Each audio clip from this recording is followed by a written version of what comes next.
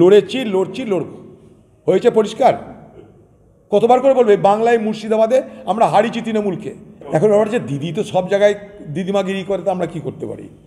গতবার এই লোকটাই তৃণমূলের দালালি করে এখান থেকে আমাদেরকে উৎখাত করতে এসেছিল। তখন সে ছিল তৃণমূলের মহানায়ক, তৃণমূলের মহাযোদ্ধা। তো কোথায় সিএ গেল জানি না, কোথায় এনআরসি জানি না। এগুলো করা মানে আবার মানুষের মধ্যে বিভ্রান্তি তৈরি করা, সাম্প্রদায়িক বিভাজনকে উস্কে দেওয়া। লড়েছি, লড়ছি, লড়ব। হয়েছে পরিষ্কার? কতবার করে বলবে, বাংলায় মুর্শিদাবাদে আমরা হারিয়েছি তৃণমূলকে। একবার নয়, বারবার। মালদাতে হারিয়েছি, একবার নয়, বারবার। আমরা বলছিলাম, সারা বাংলা আমরা দখল করে নেব। কিন্তু বাংলায় যেখানে কংগ্রেস আছে, সেখানে কংগ্রেস লড়বে, কংগ্রেস জিতবে। আর কত নেবেন এক কথা? এক একবার এক এক টিভিতে এক এক বাতালা হচ্ছে আপনাদের। কে বলছে অধীরের সুর নাকি ঐক্যের পক্ষে চলে গেছে? কেউ বলছে অধীরের সুর বিপক্ষে চলে গেছে? বড় বড় সংবাদ মাধ্যম কোথায়, কার কার কথায় চলে জানি না আমার। বাংলায় কংগ্রেস লড়ছে, গত পঞ্চায়েত বছর লড়েছি আমরা এখানটায়, দেখেছেন? আমরা গুলি খেয়েছি, খুন হয়েছে, তা তো লড়েছি আমরা। তো বাংলায় লড়ছি আমরা, নতুন কথা বলার কি আছে? স্তরের মানুষের কাছে দেবতা সমান। রামকে আমরা তো আজ থেকে চিনি না। রামকে আমরা যুগ যুগ ধরে চিনি, জানি, আমাদের এটা আস্থার ব্যাপার। কেউ মৃত্যু হলে তাকেও রাম রাম নাম সত্য হয় বলে তার মৃত্যু হয়। মহাত্মা গান্ধীকে হে রাম বলে শহীদও হতে হয়। এখন ব্যাপার হচ্ছে যে রাম মন্দির নির্মাণ হচ্ছে সুপ্রিম কোর্টের ফয়সলা বা সিদ্ধান্ত নেওয়ার পর। তাতে কারও কোনো আপত্তি নেই। কিন্তু সবাই আমরা এটা বুঝতে পারছি যে রামের নামে শুধু রাম মন্দির নয়, রাম মন্দিরকে সামনে রেখে কিন্তু একটা রাজনৈতিক দল তার মতন করে প্রচার করতে নেমে গেছে ময়দানে। এটা কিন্তু আমরা সবাই দেখতে পাচ্ছি। রাম মন্দির এক জিনিস আর রাম মন্দিরের নামে রাজনৈতিক প্রচার আরেক জিনিস। দুটোর মধ্যে মিশ্রণ হলে রাম মন্দির তার যে মাহাত্ম, সেটা কিছুটা খাটো হয় বলে আমার একটা ব্যক্তিগত অনুভূতি, এটা ব্যক্তিগত মতামত। আমরা কোনো ধর্মকে আবার উল্টো না ব্যাখ্যা হয়ে যায়, ভাই, তোমাদের টিভি বেলাদের নিয়ে খুব ভয়। কোথেকে কী ব্যাখ্যা করে দিব আবার?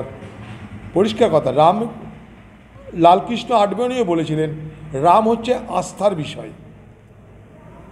আজ থেকে নয়, রাম মন্দিরের ঘটনা। আস্থার বিষয় এটা। তো সেই আস্থা নিয়ে রাজনীতি করার নিশ্চয়ই বিষয় নয় এটা। বাংলার মানুষের মধ্যে ধর্মের মানসিকতা তার অন্তরের মধ্যে সমহিত আছে।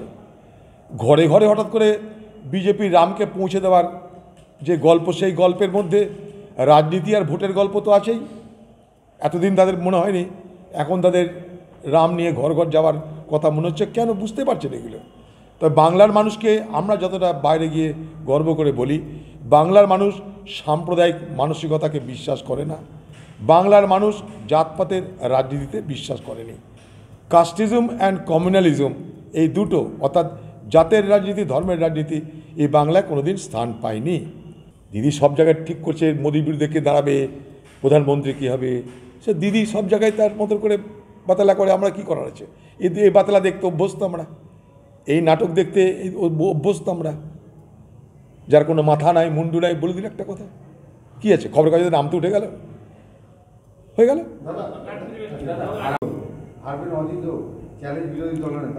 আর আমরা তো চ্যালেঞ্জ অ্যাকসেপ্ট করে লড়- লড়ি এখানটাই।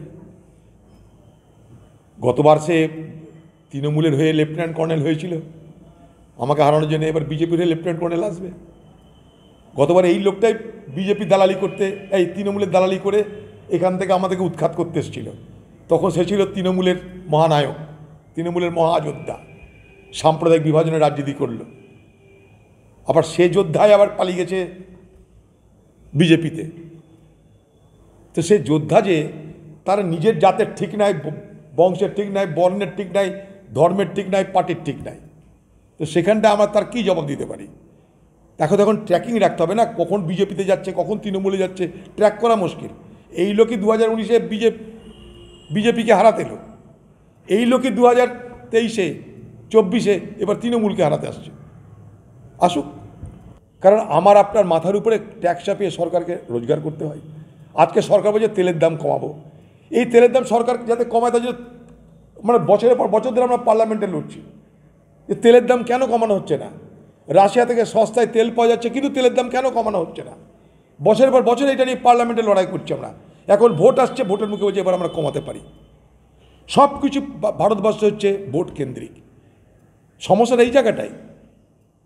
যদি ভোট কেন্দ্রিক সব কিছু হয়, ভোটে জেতার জন্য যদি বাজেটের ওঠানামা হয়, মানুষের ভালো মন্দ ভাগ্যর ওঠানামা হয়, এর থেকে দুর্ভাগ্য কিছু না, কারণ প্রতিদিন তো ভোট হবে না। ভোট হয়ে গেলে আবার দর বাড়িয়ে দেবো। ভোট এলে দর কমিয়ে দেবো তো মজার ব্যাপার। জোয়ার ভাটার ব্যাপার সমুদ্রের। এই বাংলায় সিএ নিয়ে আলোচনা হবে, এনআরসি নিয়ে আলোচনা হবে।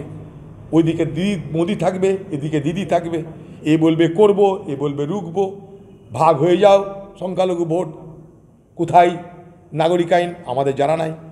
কয়দিন আগেও আমার কাছে একটা ছেলে এসেছিল, সে হিন্দু, সে বাংলাদেশ চাইছে তাকে এয়ারপোর্টে থেকে অ্যারেস্ট করতে গেছিল। অথচ সে এই দেশেই আছে দশ পনেরো বছর ধরে। তো কোথায় সিএ গেল জানি না। কোথায় এনআরসি জানি না। এগুলো করা মানে আবার মানুষের মধ্যে বিভ্রান্তি তৈরি করা। সাম্প্রদায়িক বিভাজনকে উস্কে দেওয়া। তাই ভোটের আগে সিএ চলে এসছে।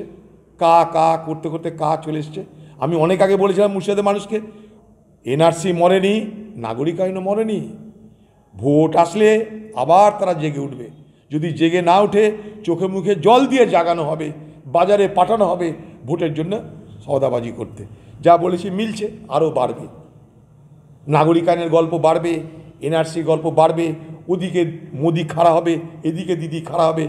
আবার বাংলার মানুষকে মোদি আর দিদি তাদের মতন করে ভাগ করে যে যার মতন চলে যাবে। মোদি যাবে দিল্লি দিদি যাবে কালীঘাট হয়ে গেল। এসব মুখ্যমন্ত্রীর কল্পনা বিলাস থাকতে আমাদের কিছু করার নাই। এ বাংলায় কোন আমলে কার আমলে বিজেপির শাখা প্রশাখা শক্তি বৃদ্ধি পেয়েছে এ বাংলার মানুষ সব জানে। কে কার বিরুদ্ধে লড়বে বাংলা মানুষ জানে। এখন বাংলায় লড়াই দিদির সঙ্গে মোদির কে কার থেকে বড় হিন্দু?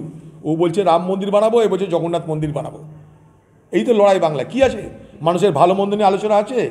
চাকরি নেই, রুটি নেই, রুজি নেই, শিল্প নেই, কারবার নেই, সব শেষ। স্বাস্থ্য নেই, সব সর্ব, সর্বনাশ হয়ে গেছে। মানুষ যাবে কোথায়?